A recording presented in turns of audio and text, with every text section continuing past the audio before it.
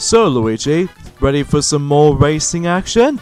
Um, yes, absolutely, Piglet, absolutely. Hey, what is up, ladies and gentlemen? I'm Luigi here, and I'm Piglet here. We are back for some more of the Maxi Toys videos, and ladies and gentlemen, welcome back to my last play of Mario Kart Wii for the Nintendo Wii. So last time we did explore through, uh, we did manage to finish up with Star Cup, and now we're going to be continue on and move on to the Special Cup, the last major cup in the particular, um, you know, normal track cups in Mario Kart Wii. So, afterwards, then we're pretty much going to be moving on to the retro tracks. Even I know that, um, you know, you should probably expect it from ever since Mario Kart DS, and, you know the jazz. So even let's get this thing started, shall we? So even Endo, the first thing we'd like to point out though is that it has been a quite a few months since we actually last time recorded this. I think last time we actually did use is actually um, Luigi here, in this case yourself, in your forms of the Star Cup.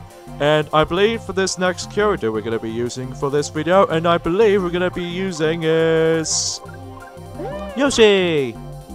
Alright then, Yoshi takes the win. So even then, uh, let's go for the vehicles wise that uh, we haven't normally used cars that much, but even then though that, um, well, as far as I'm aware, because I'm not very used to with cards in this game anymore, because I was so used to with cards in 7 and Mario Kart 8, so that's the main suggestions on my ad. So even then though, that I might as well actually go for uh, Rapide. So even then though, that, um, you know, another bike type vehicles around here.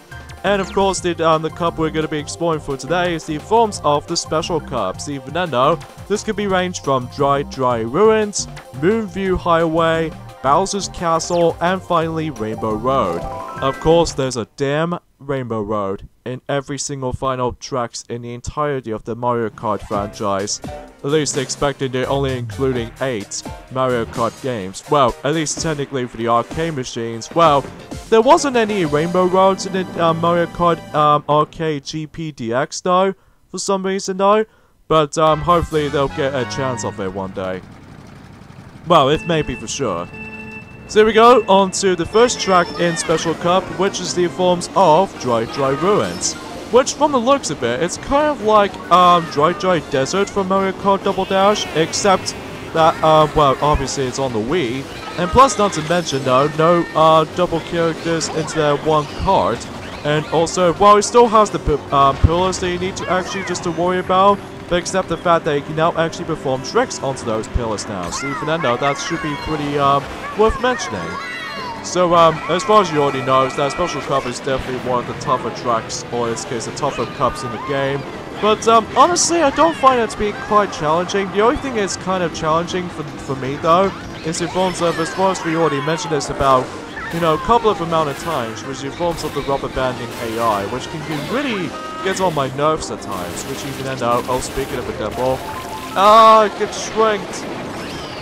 So, um, yeah, uh, uh, let's just get into the um the um the discussions about today, folks. Is the fact that um one thing that me and Mario haven't mentioned about this and during the likes of Super Mario Bros. 3 playthrough, especially noticeable in Super Mario All Stars Let's Play, that granted me and Mario didn't manage to finish that completely. Um, we haven't sort of mentioned about this is that uh, recently that Sega did announce there's going to be a uh, free download from new forms of Sonic the Hedgehog 2 Christian Whitehead version. Because of this, um, recently, that during a couple of days ago, is the forms of Sonic's uh, Sonic the Hedgehog 2 25th anniversary during a couple of days ago, which to me is like a really cool thing because even then, though, considering in the last year, that's the forms of the fact that the first ever Sonic the Hedgehog game did came out in uh, 1991. So even in the last year, we've got the 25th anniversary of Sonic the Hedgehog himself as well as the game itself from the likes of the Mega Drive when it first started at all. Well, it is excluding for the Game Gear and uh, Master System as well. So, yeah, and as a result, though, is that, um, you know, Sonic the Hedgehog 2, original release on that game, is now 25 years old. So, I can't believe it's been now so old. Yeah, and not to mention that um, Disney's Aladdin from 1992 film was also 25 years old. So you can end out that I just really can't believe how days themselves can go really fast and then just like, you know, um, this could be going pretty over quite sooner or later. But I don't usually think. So yeah, um, basically that's how the fact that I was really surprised how the fact that between Sonic the Hedgehog 1 and Sonic the Hedgehog 2, the re-released version on the iPhone versions of the game, uh, basically they've now become free to download now. So because as a result, thanks to Sega Forever, um, you know, database, they did now ma manage to make Sonic 2 as a free download, so no longer gonna have to pay for those uh, money for kinds of stuff. The only time you do need to pay for money though is in forms of removing those adverts every once in a while, which, again, is a little bit too much of a nitpick, that's, that's just how you expect it. Alright, here we go folks, on to the second track in Special Cup in Mario Kart Wii, which is perhaps is one of the one of my least favorite tracks in the game, Moonview Highway. For the love of God, I absolutely hate this track so much. Because the reason being for that is because it because it feels like an equivalent combination of both, I would say Toad's Turnpike from Mario Kart 64. In addition to that though, it's basically more likely equivalent to Mushroom City from Mario Kart Double Dash, but except the fact that I found Mushroom City to be quite an enjoyable course to begin with and as well as Toad's Turnpike. But I say that the reason why I felt like the this track feels exactly, almost exactly similar to the combination of, you know, both um, Toad's Turnpike and as well as Mushroom City, because for one thing, it's all a nighttime setting from the city um, location. And at the same time for Toad's Turnpike is that these vehicles will come drove right towards you. And even especially noticeable you don't want to get hit by these vehicles because if you can tell already, that much like it does in Toad's Turnpike and even Mushroom City as a result, if you get hit by these vehicles right there, um, you get flattened and also you might as well lose your, lose your items. Even then though, that is by far the most annoying track in the entire game because not only you're gonna have to go through all that uh, track design, well, this is kind of simple, but even then though, one of the more annoying, irritating parts about this track to me though, is informs the, how the fact that you can get hit by a lot, I mean a lot of vehicles in this place actually offers. Which even then though, that can really bug me off at one point or another. And also, you know these um, bomb cards, the bomb cards they usually make disappear in different sense. Um, I can assume Mario Kart Double Dash even. So even then though, that much like on that game, that um, if you get if you get touched by the uh, the bomb cards, oh yeah, excluding the likes of Mario Kart 64, but only in multiplayer and battle mode um, you can basically get, get yourselves exploded and you also lose the items. So, yeah, definitely one of my least favorite tracks in the game because you can definitely you can get hit by a lot of vehicles. And plus, not to mention, if you get yourselves hit by the yellow car, as you can see in a couple of seconds ago, that um, we did fluke out. So even that can get really irritating at times, which even though, that, um, you know, as far as you might as well actually just trying to figure this out though, but that's just how it is for me. Yeah, but that's precisely the point, so... But hey, at least we actually become number one here, as we expected, so even then, no, not too shabby. But again, if you have a first time playing for this particular game, even especially noticeable that, um, if you already picked this up in during the, um, during the, um, the retail stores, or anything else for that desirable, Granted though, that this game just does never seem to saw the re-release on the Wii U unfortunately.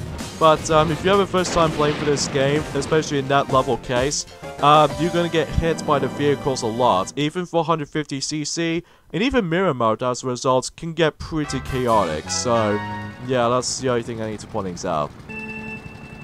Alright, third track in um, Special Cup and also forms of, as you expected, Bowser's Castle. Which, from the looks of it, it kind of reminds me of almost related to Mario Kart Double Dash in variation, but except that, um, obviously the major difference is that the bridge itself is now replaced as a giant ramp you can able to actually jump off of. So, yeah, it, it kind of reminds me of that. And plus, in addition to the little um, Mario Kart symbol onto the little start and finish lines. So, yeah, for Bowser's Castle in this installment, then the likes of how it does in Double Dash, and especially Mario Kart DS, and even especially noticeable that there's too many variations in... What?! Why does it target on us?! Target on the first place, damn it! Uh, you see what I mean about this little rubber banding AI sometimes, is that, you know, they're always trying to desperately want to get these uh, more effective items, whatever they needed to. But I can't believe that since we're still in second place, but I'm pretty sure because of how the program's usually developed, how the fact that since we immediately in first place already from the get-go, and then next you notice that we guess, I guess we just got hit. Yeah, I know, it's really unfair though, really. But that's just how it is for me.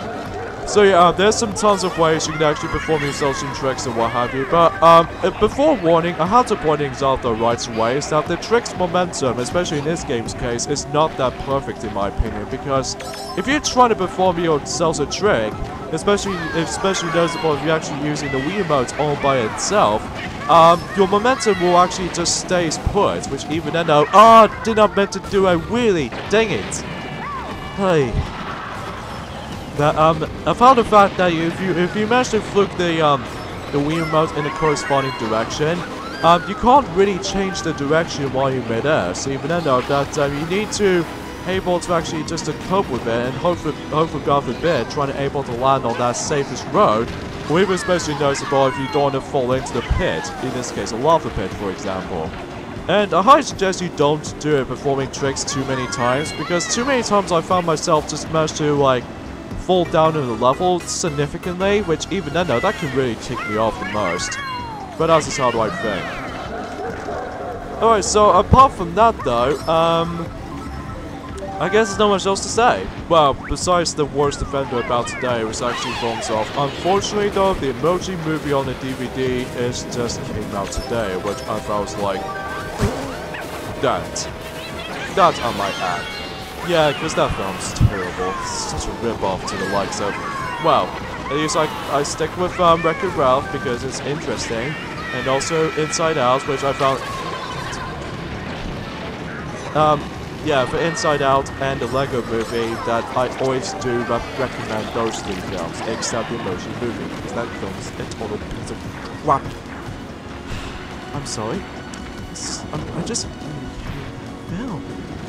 I think it's, I think when we get to the actual um, ending point of 2017 at this point, that we can actually discuss upon the overall of 2017 as other. Even especially noticeable when it's like Christmas is almost getting close. Oh yeah, exactly. But that's just way trying to able to be planning out, but hey, at least as far as it'll go. So yeah, for Bowser's Castle, I actually do really enjoy this version of Bowser's Castle because well, it does have a pretty cool half-pipe right there, just like how it does in DK Snowboard Cross. But yeah, that's all, I, that's all we can think. So, of course, you know, there are some tons of hazard, hazards here and there, like lava, swamps, and fireballs included this time. Well, technically, fireballs did make an appearance ever since uh, Mario Kart Double Dash, even, but they all uh, swing, or in this case, they usually move from horizontal position, and uh, yeah, as far as I can really think.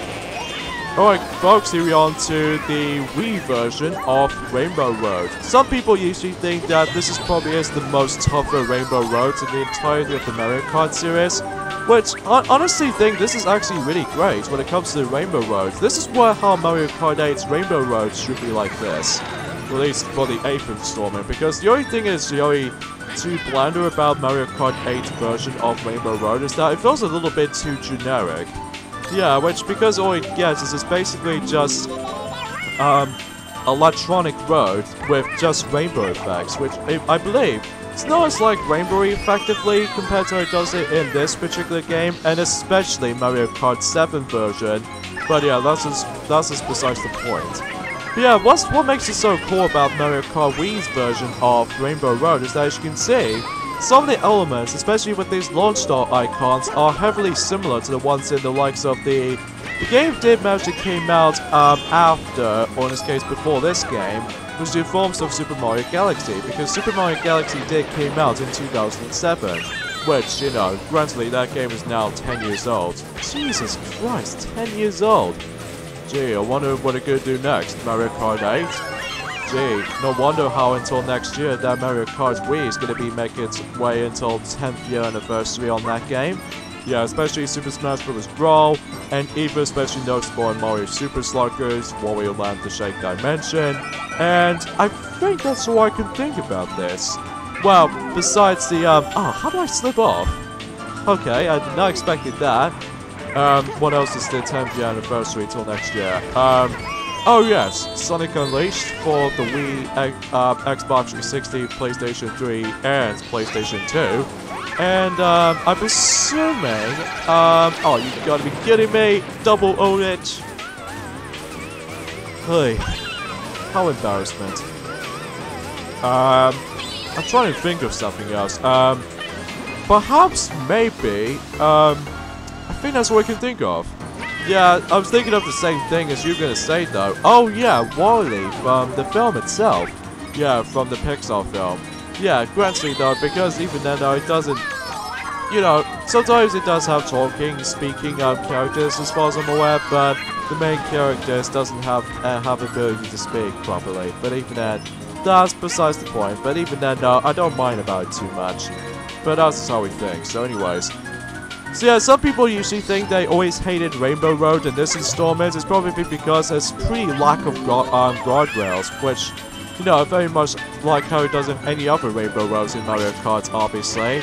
Because, you know, this is predictably one of the challenging courses in the entirety of Mario Kart Wii.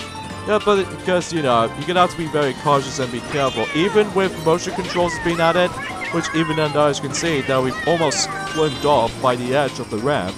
So even though, that if we manage to perform ourselves a little bit of a carefully tilting controls is involved, then we pretty much guarantee we get ourselves a gloriously ultimate victory. So yeah, how about that?